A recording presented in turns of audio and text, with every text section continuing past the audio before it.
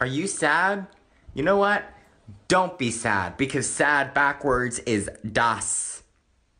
And that's not good.